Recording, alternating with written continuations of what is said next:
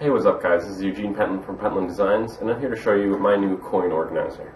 So this design works by having four main components. There's a main container that holds everything, four sleeves which hold all the coins, and then two pieces which are used to put the coins inside the sleeves. All of the sleeves slide into the main holder.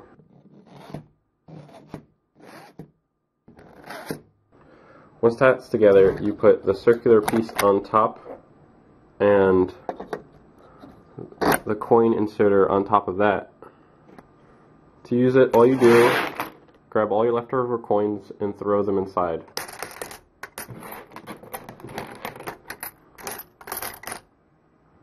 Once you do that, you just hold one finger in the center and then spin with the other. The coins only fall into the correct size hole. And you just keep spinning until all of the coins are used.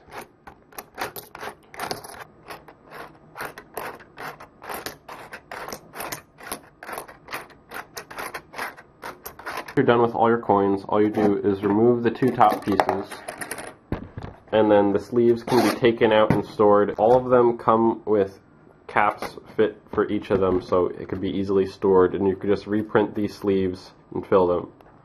If you have any questions, feel free to ask in the comments and like and subscribe if you like this content and would like more. Follow the link in the video description below to find where you could download and print this model.